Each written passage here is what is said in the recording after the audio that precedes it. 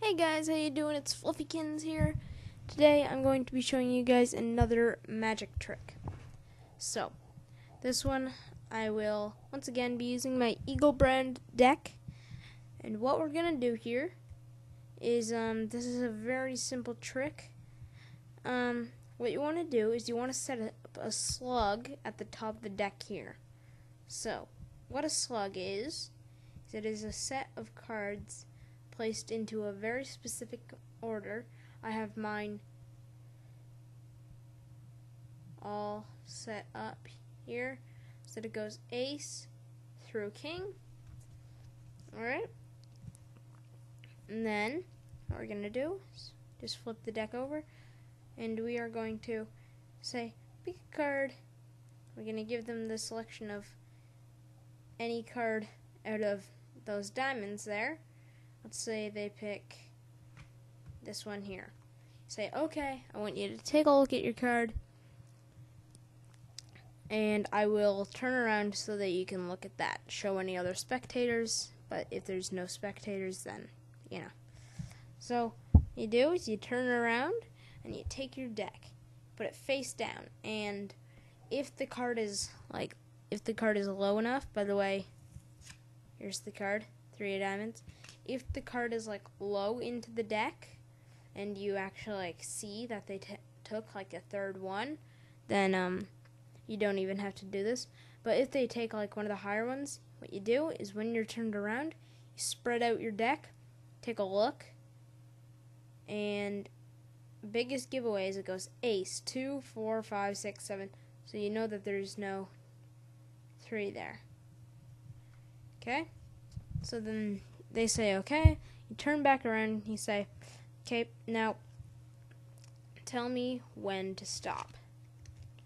And then you go through the deck and you just go like this. When they tell you to stop, make a break in the deck, and they, you can, they will typically ask you to, you know, like look up or something, or close your eyes, put the cards behind your back, spin around, all that stuff. You say, okay. You let them do whatever. Well, then what you do is you can play this off several different ways. You can flip the deck over, go through all this. I've got another slug there. You can go through and you can find the lone diamond or whatever it is that your slug was made of. So there you go. There's the three of diamonds. You go, was this your card? I don't like to play it off that way. I play it off my own way. That being, I go, okay, so what I want you to do, and I just set the deck aside, you don't really need this. Say, so what I want you to do is I want you to picture your card in your mind. Pretend it's just floating there with nothing else behind it, just your card. You say, okay? And then what you do is you pretend that it's very hard and that you're like you just stare at either like their forehead or at their eyes and you just stare and you pretend that it's really hard. And then you say yep okay. Was your card? The three of diamonds. And then they say yes and you get that perfect reaction of complete and total shock. So yeah.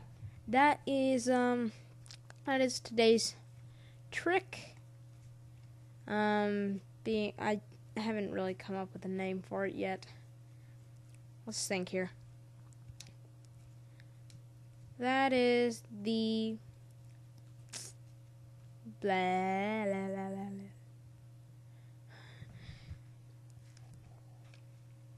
Oh, that's hard to come up with a name for. My God.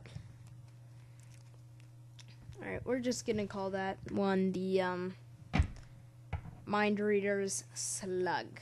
Alright. Or, no. No, no, no, I don't like that one. Let's call that one the Cheater Slug. That sounds good. Like it. If you like the name the Cheater Slug, make sure you go and click that like, like button. Alright guys, thank you for watching. If you enjoyed this video, make sure to go and subscribe down below. Also comment and like. Peace out.